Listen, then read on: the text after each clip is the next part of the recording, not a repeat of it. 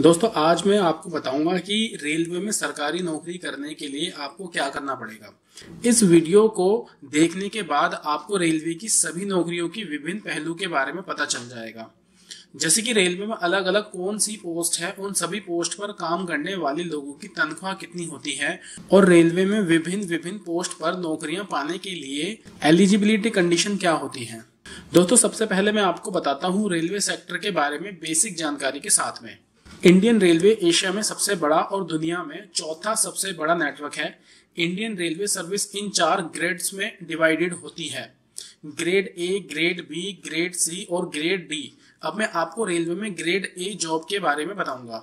दोस्तों, grade A में आप जिन पोस्ट पर सेलेक्ट होते हो, वह सभी है इंडियन रेलवे ट्रैफ़िक सर्विसेज़, जिसकी शॉर्ट फॉर्म है आई आर टी एस दूसरा है इंडियन रेलवे अकाउंट सर्विसेज़ जिसकी शॉर्ट फॉर्म है एस तीसरा है इंडियन रेलवे पर्सनल सर्विसेज़ जिसकी शॉर्ट फॉर्म है आई आर पी एस चौथा है इंडियन रेलवे प्रोटेक्शन फोर्स जिसकी शॉर्ट फॉर्म है आई आर पी एफ़ पांचवा है Indian railway service of engineer जिसकी शॉर्ट फॉर्म है आई आर एस ई छठवा है इंडियन रेलवे स्टोर सर्विसेज़ जिसकी शॉर्ट फॉर्म है आई आर एस एस सातवां है Indian railway service of mechanical engineer जिसकी शॉर्ट फॉर्म है I R S M E और आठवां है Indian railway service of electrical engineer जिसकी शॉर्ट फॉर्म है I R S double E दोस्तों, नोवा है इंजीनियरिंग सर्विसेज़ एग्जामिनेशन जिसकी शॉर्ट फॉर्म है ई एस ई दसवां है स्पेशल क्लास रेलवे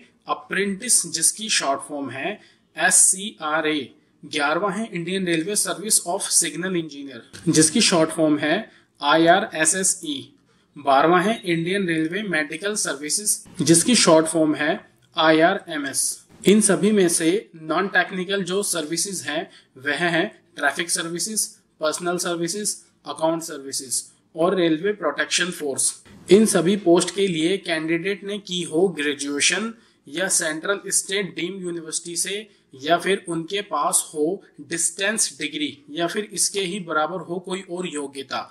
इन पोस्ट के लिए recruitment process civil services exam और आईआरटीएस के केस में ग्रेड बी से प्रमोशन द्वारा किया जाता है। इन पोस्ट के लिए कैंडिडेट की उम्र 21 साल से लेकर 32 साल के बीच होनी चाहिए। इसके अलावा ओबीसी एससी और एसटी कैंडिडेट्स को आयु सीमा में छूट दी गई है। दोस्तों, इसके अलावा टेक्निकल पोस्ट के बारे में मैं आपको बताऊँगा। Civil engineer electrical engineer mechanical engineer store service और सिग्नल इंजीनियर दोस्तों टेक्निकल सर्विस के लिए अगर आपने की है बैचलर डिग्री वह भी इंजीनियरिंग में, या फिर MSc wireless communication electronic radio physic और रेडियो इंजीनियरिंग में। इन सभी पोस्ट के लिए recruitment process Indian engineering service examination द्वारा होता है। जो यूपीएससी के द्वारा कंडक्ट करवाया जाता है। और इसमें जो उम्र होती है, वह होती है 21 से 30 साल।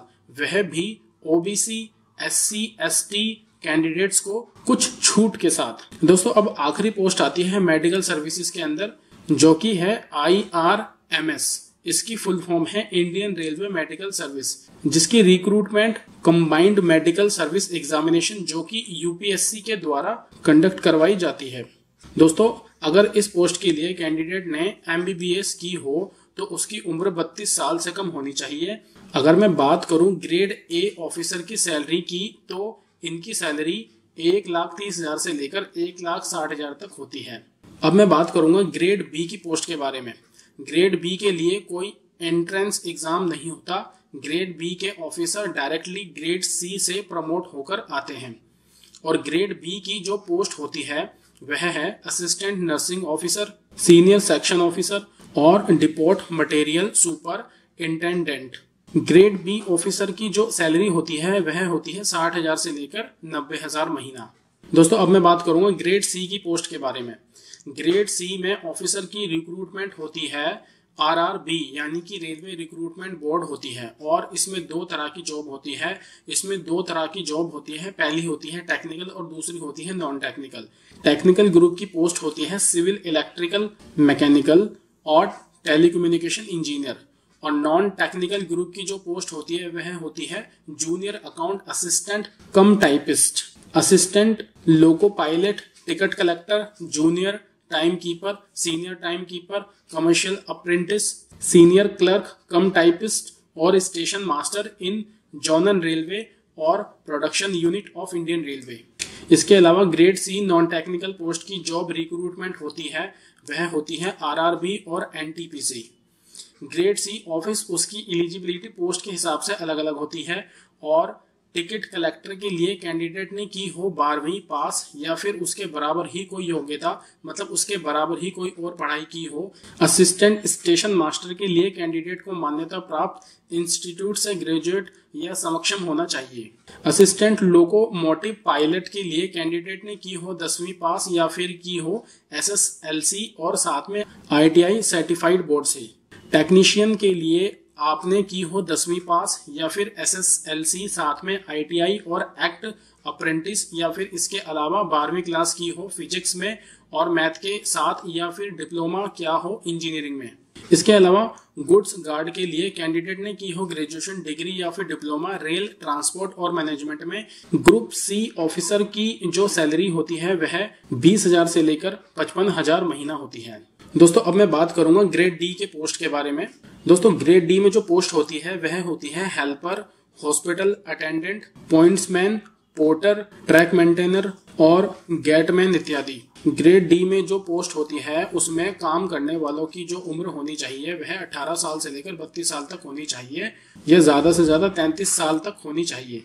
इसके अलावा ओबीसी एससी और एसटी कैटेगरी वाले कैंडिडेट्स को छूट दी गई है।